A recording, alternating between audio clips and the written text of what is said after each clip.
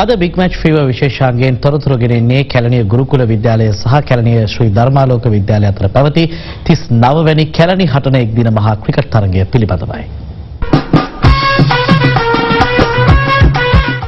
තරගයේ ආසිය වාසීදුරු කැලණිය ශ්‍රී ධර්මාලෝක විද්‍යාලය ප්‍රථමයෙන් පන්දුට පහර දීම සඳහා කැලණිය ගුරුකුල විද්‍යාලයට ආරාධනා කළා. ඒ අනුව පිටිට පිවිසි කැලණිය ගුරුකුල විද්‍යාලය නියමිත පන්දුවර 50 අවසානයේ කඩලු 8ක් ගවි රැස්කරගත් ලකුණු සංඛ්‍යාව 278ක්. ගුරුකුල විද්‍යාලය වෙනුවෙන් කෙමිර නයනතුරු ලකුණු 98ක් රැස් කළා. ප්‍රවීන් නිමේෂ් ලකුණු 84යි. ලකුණු 279ක ජයග්‍රාහී ඉලක්කයක් හඹා ගිය ශ්‍රී ධර්මාලෝක විද්‍යාලයට පන්දුවර 37යි පන්දු පහකදී සියලු තුනා දෙවි රැස් කරගත හැකි වුණේ ලකුණු 141ක් පමණයි. ශ්‍රී ධර්මාලෝක විද්‍යාලය වෙනුවෙන් යෝගීෂ ඩිෂාන් ලකුණු 45ක් රැස් කළා.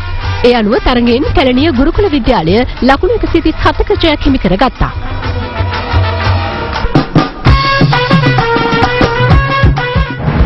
එම තොරතුරුත් සමගින් අද දෙරන මධ්‍යහන ප්‍රාතිකාශය දිමාවට පත් වන වැඩිදුර තොරතුරු සඳහා පිවිසෙන්න අපගේ වෙබ් අඩවියට.